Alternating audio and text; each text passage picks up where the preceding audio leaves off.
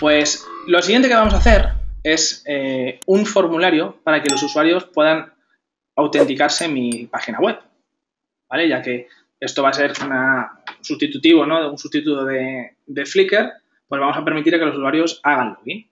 Entonces, lo que vamos a hacer es crear una foto, perdón, crear una URL donde vamos a pintar un formulario de login y luego también vamos a implementar el correspondiente logout. Pero aquí, si nos ponemos un poco en plan filosóficos, diríamos, ¿tiene sentido que la funcionalidad de login y de logout esté en la aplicación de fotos? No, ¿verdad? Yo creo que no.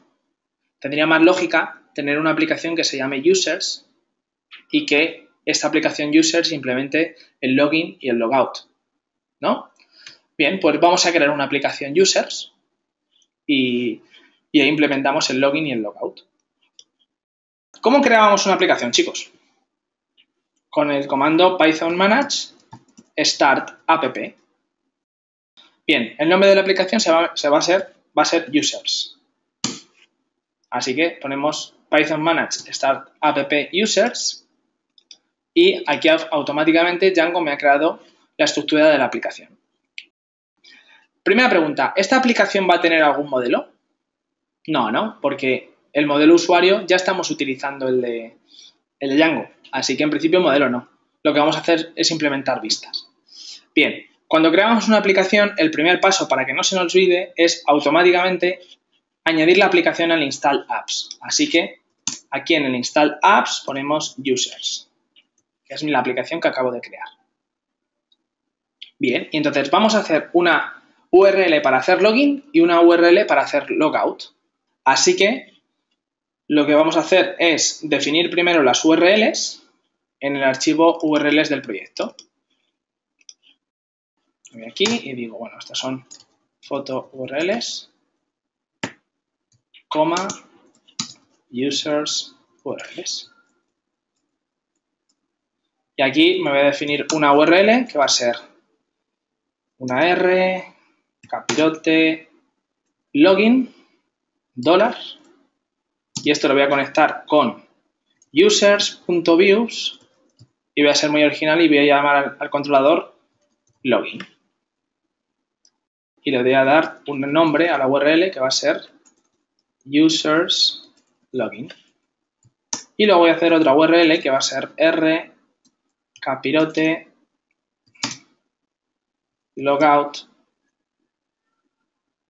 dólar, coma, users.views.logout con nombre users logout. ¿Vale? Aquí estamos que nos salimos de originales. Muy bien, entonces ahora lo que tengo que hacer es en el archivo views del paquete users implementar la función login y logout. Bien, por uno vamos a ir aquí a Users, Views, y aquí me voy a definir mi función login, ¿qué es? Es un controlador, por tanto, recibe un objeto request. Y me voy a definir mi función logout, logout, que, que recibe también un objeto request. Fijaos, si yo hago esto, es decir, si yo quiero definir una función sin contenido en Python, esto me va a fallar. ¿Por qué? Porque Python espera que dentro de la función de login escriba yo algo. Cuando querramos definir algo sin contenido, es decir, algo, digamos que en cualquier otro lenguaje de programación yo unas llaves y que no queremos que tenga contenido porque no lo voy a escribir ahora, podemos utilizar la palabra reservada pass, ¿vale? Que es como decir, bueno, pues esto en principio ya lo implementaré, pasa de ello. Entonces aquí tenemos mi página de login y mi página de logout. ¿Vale? De momento tenemos las funciones definidas sin implementar y las URLs ya conectadas a las funciones con sus nombres. Vale, entonces vamos a hacer primero una cosa que es habilitar la opción del, de login o de logout en el menú de navegación. ¿Dónde teníamos el menú de navegación? En el base.html. Así que en el base.html, después de home, vamos a poner aquí un, un pipe y vamos a mostrar el menú de login o el de logout. Pero claro, nosotros aquí tendremos que saber si el usuario está autenticado o no está autenticado para mostrarle el login si no está autenticado o el logout si está autenticado, ¿no? Así que vamos a preguntárselo. ¿Por qué? Porque toda plantilla tiene acceso a un objeto user que es el usuario que viene en el objeto request de la petición, sabiendo si está autenticado o no. Es decir, que yo aquí puedo decir if user.isAuthenticated, que es un método que nos proporciona eh, la clase usuario de Django. Si el usuario está autenticado, ¿qué le voy a mostrar? El logout, ¿no? Así que hago aquí ahref y aquí le pinto la URL users logout.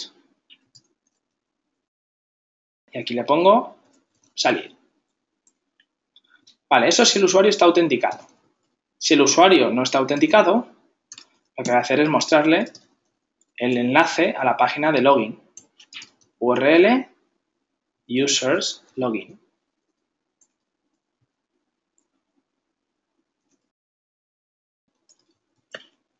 Entrar y en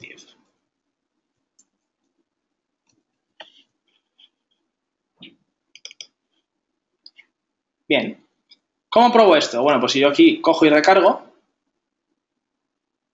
uff, me aparece salir. Pero yo no me he autenticado, ¿o sí?